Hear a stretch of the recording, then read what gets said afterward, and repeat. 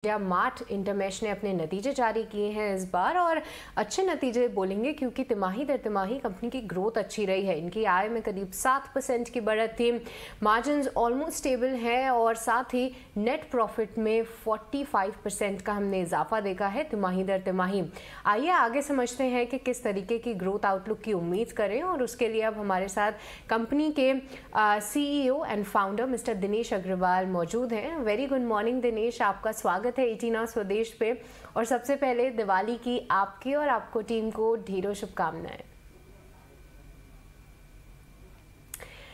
तो दिनेश नतीजों पे अगर हम बात करें तो आपकी जो आय रही है दूसरी तिमाही में, वो आपकी जो गाइडेंस आपने दी थी पाँच से छः परसेंट की, उसको एक्सीड करती हुई नज़र आई है।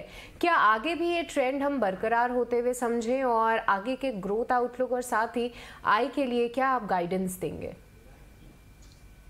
नहीं एक्चुअली अगर आप देखें तो पहला क्वार्टर काफ़ी सबड्यूड हो गया क्योंकि एफ़ वाई ट्वेंटी वन में भी फ़र्स्ट क्वार्टर में लॉकडाउन था और एफ़ वाई ट्वेंटी टू में भी फ़र्स्ट क्वार्टर में कोविड नाइन्टीन का सेकेंड वेव का काफ़ी वो था। इसलिए स्पेसिफिकली इस पर्टिकुलर क्वार्टर पे ज़्यादा दिख रही है।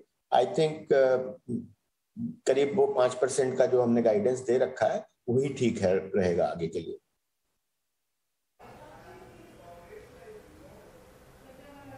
ओके। okay. दिनेश जी, तिमाही दर, तिमाही आधार पर हम आपके नंबर्स देख रहे थे, उसमें हमने देखा कि एम्प्लॉय और, जो अन्य आय खर्च खर्च था अदर एक्सपेंसेस वो बढ़े हुए हैं। क्या कोई स्पेसिफिक रीजन है इसके पीछे? जी जैसा कि मैं पहले भी बता चुका हूँ अलग चैनलों पे पिछले साल से करीब इसी समय से हमने तेज़ी से कस्टम कस्टमर काउंट बढ़ाने के लिए मैन पावर में काफ़ी इन्वेस्टमेंट किया।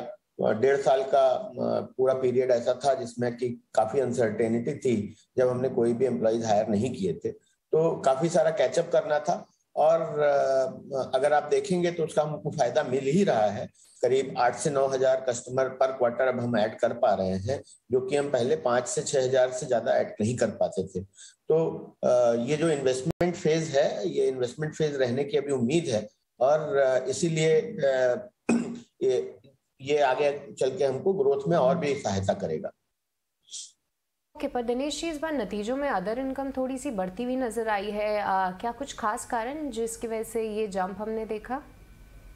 नहीं अदर इनकम में पिछले क्वार्टर में आई थिंक काफ़ी सारा इंटरेस्ट रेट का मूवमेंट हुआ था और जिसकी वजह से मार्क टू मार्केट लॉसेस थे और जो कि इस क्वार्टर में थोड़ा स्टेबलाइज होने की वजह से मार्क टू मार्केट गेंस हैं। और कुछ हमारी जो अदर इन्वेस्टमेंट्स थी स्टार्टअप्स में, उसमें दो इन्वेस्टमेंट्स में अपग्रेड हुआ है क्योंकि वहाँ पे हायर वैल्यू पे प्रमोशन हुआ है हायर वैल्यू पे वैल्यूएशन हुआ है।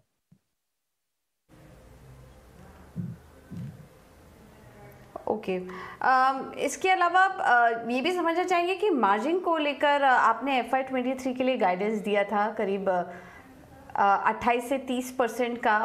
उसको लेकर क्या एक्सपेक्ट कर रहे हैं आप? जी मेरे ख्याल से वो 28 से उनतीस परसेंट के बीच में ही रहना चाहिए मार्जिन क्योंकि आप देख ही रहे हैं कि cost on the manpower side across the industry बढ़ रही है और स्पेशली टेक्नोलॉजी में और सेल्स में। तो इस वजह से थोड़ा सा प्रेशर है लेकिन आ, मैं ज़्यादा वरी नहीं करूँगा। आई थिंक 28 से उनतीस परसेंट मेंटेन करेंगे। ओके okay, दिनेश जी आपको बहुत बहुत शुक्रिया हमारे साथ जुड़ने के लिए और दर्शकों को बताने के लिए किस तरीके का ग्रोथ आउटलुक है कंपनी का। आ, बहुत बहुत धन्यवाद। तो ये थे इंडिया मार्ट के मैनेजमेंट जहाँ पे आगे के लिए ग्रोथ आउटलुक को लेकर वो पॉजिटिव है। हालाँकि उन्होंने गाइडेंस में कोई भी बदलाव नहीं किया है, जो कि रेवेन्यू और साथ ही इनके मार्जिन के फ्रंट पे हो। और अगर स्टॉक स्पेसिफिक एक्शन भी देखें तो ऑलमोस्ट सपाट ट्रेड करता हुआ आपको इंडिया मार्ट इंडमेश का आईपीओ का स्टॉक प्राइस दिखेगा। पर पिछले